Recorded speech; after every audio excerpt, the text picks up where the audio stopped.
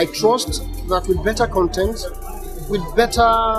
planning, and with better funding, with better support from individuals, from corporate organizations, from government, from non-governmental organizations, I trust